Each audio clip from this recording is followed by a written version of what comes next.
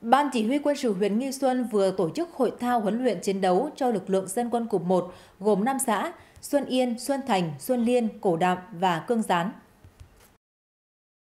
Tham gia hội thao, các chiến sĩ dân quân được huấn luyện và kiểm tra thực hành các nội dung về điều lệnh đội ngũ, võ thuật, chính trị, kỹ thuật thuốc nổ, chiến thuật, bắn súng, ném lựu đạn, chạy vũ trang.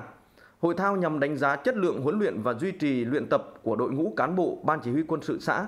kết quả học tập rèn luyện của phân đội, từ đó làm cơ sở đánh giá rút kinh nghiệm về nội dung, phương pháp huấn luyện trong thời gian tới.